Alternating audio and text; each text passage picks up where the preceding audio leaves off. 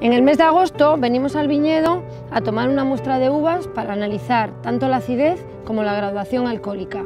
Ya en el mes de septiembre lo que hacemos es una cata de uvas que nos va a ayudar a definir el día exacto en el que vamos a vendimiar, a cortar todos esos racimos, meterlos en cajas de 16 kilos y llevárnoslos a la bodega.